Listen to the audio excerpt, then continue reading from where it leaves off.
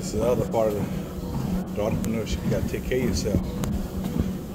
Everything got to be a reflection of your investment. Invest to your number one person is yourself. Investment. Invest to your surroundings. Invest to yourself. A lot of people, man, don't want to invest in nothing because of health is wealth. You can't, you cannot go nowhere any time soon if you can't go for the longevity. So you got to take care of yourself. Right now, just doing 30 minute, 3.4, 3.5 for seven minutes, seven miles. You got to take care of yourself.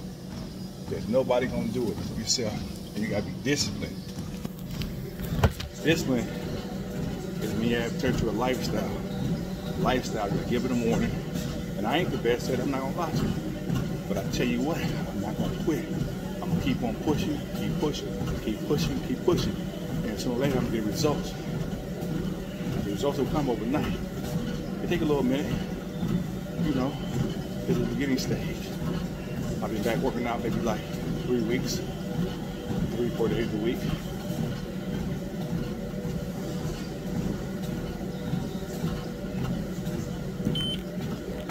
Spray in.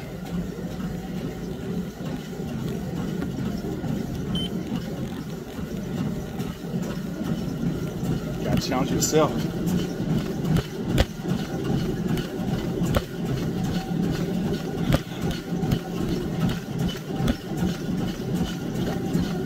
I'm down 15 pounds. And then build back up the muscle. Take a little time. A little time. It don't happen overnight.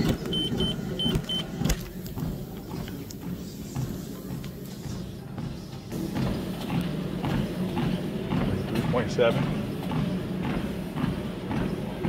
24 minutes. Get together.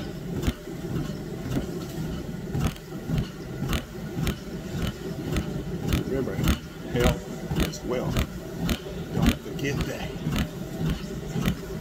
Don't forget that. Is wealth. Repeat that to yourself constantly. Help as well. You might not have no money right now. but Take care of yourself. You will get some money.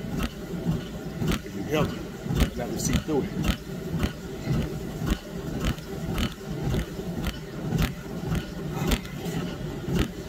Sweat right here.